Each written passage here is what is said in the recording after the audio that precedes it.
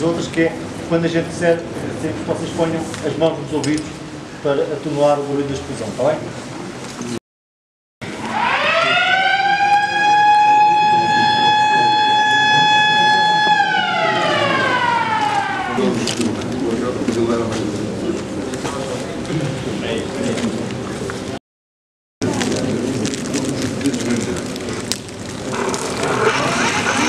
Agora estamos a dar pressão no aparelho.